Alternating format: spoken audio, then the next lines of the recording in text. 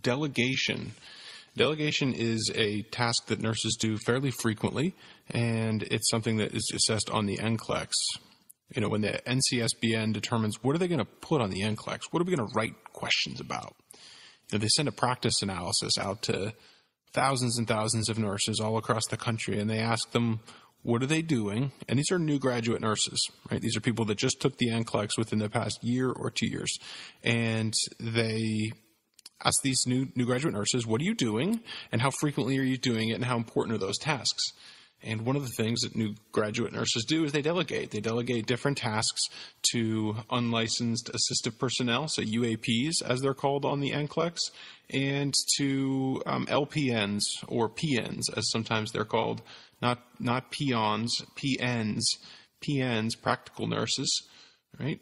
And this is something that almost all new graduate nurses do in one way or another. Okay, so immediately your first day on their job, you are responsible for delegating responsibility to different people. So there's certain things that you cannot delegate as an RN to a PN or an LPN. Okay, number one is you cannot delegate starting an IV. Now, are there LPNs that can start IVs if they're IV trained? Then yeah, there are. But on the NCLEX, the answer is no. Uh, hanging or mixing IV meds cannot be done by an LPN. Number three, evaluating an IV site. LPNs cannot evaluate an IV site. Number four, giving IV push medications. LPNs cannot give a blood transfusion. And LPNs cannot perform a discharge assessment, an admission assessment, transfer assessment, the first assessment after any change in patient condition. Okay, so can LPNs do assessments? Yes, but they can't do the first or the last um, before you know after a patient arrives to a floor or after a change in condition or right before they're discharged to go home or discharged as in transferred to um, another unit in the hospital or in another facility. Number seven, you cannot delegate the planning of care to an LPN. And an LPN cannot develop or perform teaching. The LPN can review the teaching with the client after we've already taught them. The LPN can answer questions, can clarify, can can show them and review and reinforce, but they cannot do the original teaching or develop the teaching. Then, lastly, number nine, uh, LPNs cannot take verbal orders from a doctor, and they can't transcribe orders. Right? So basically, LPNs are not supposed to do the first of anything, um, except for giving meds. So they can give the first calcium channel blocker or the first Nexium um, or um, you know other other medication. They can do the first meds, but they cannot do the first of anything that involves teaching or um, training or evaluating um, or assessing. They can't do the first. Okay. So for the NCLEX, LPNs are med certified, but not IV certified. Hmm? In your unit, they might be IV certified, but again, not on the NCLEX. Now, that's for LPNs. How about UAPs? Right? Unlicensed assistive personnel. These are your patient care techs, um, your nurse aides, Right? These are people who do not have license. They have certifications usually, um, you know, a CNA, certified nursing nursing aide or nursing assistant. Um, you know, they have certifications, but they're not licensed. Okay, the state does not license them, so they cannot perform charting. Now they can document what they did, but they can't chart.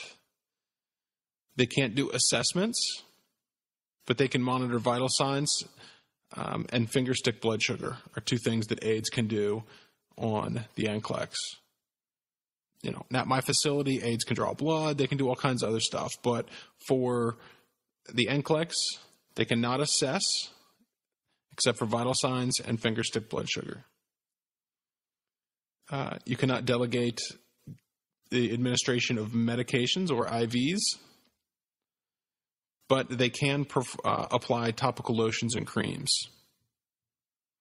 and they're not allowed to do enemas except for soap suds. So a tech can give a soap suds enema, but not a Fleets enema. Soap suds enema is not a medication. Fleets is. Okay.